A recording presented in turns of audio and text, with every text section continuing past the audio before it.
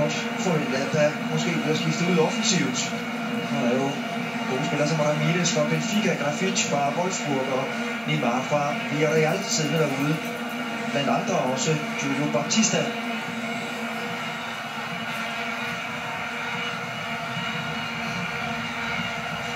Michel Bastos, venstrebakken hos Brasilien. Bakkerne, den vil du gerne have noget mere med frem, Stig? Ja, det er der ingen tvivl om. Altså, de er jo, har jo står utrolig godt inde i, i midten. Nu ser vi også, at Maikon kommer på ydersiden. Gallardo, der ligger an til et skud. Gallardo, der får sit forsøg blokeret. Men der så vi netop, hvad der kan give uh, plads, når der kommer en bak overlappende i fuld fart. Ja, det er, det er løsning mod, som kan bare komme som målmand. Og så har vi selvfølgelig også en mand, de skal have gang i, Brasilien, Kaká.